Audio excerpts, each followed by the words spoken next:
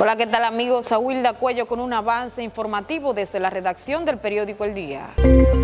El sector turismo dominicano está totalmente recuperado y en franco crecimiento, mostrando a los turistas extranjeros y locales la diversidad de ofertas que tiene el país.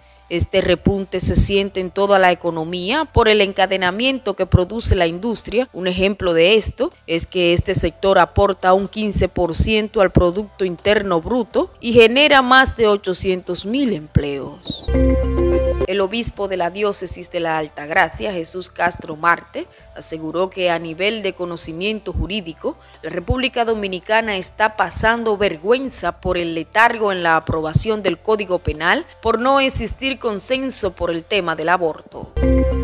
El sismo más intenso en 20 años estremece moradores de Santo Domingo y el sur. El desconocimiento en la población a la hora de la ocurrencia de un sismo produce pánico. El COE reportó grietas en algunas infraestructuras en Peravia sin pérdidas humanas. El 91% de los contribuyentes renovó Marbete a tiempo. Amplíe estas y otras informaciones en nuestra página web y en nuestras redes sociales.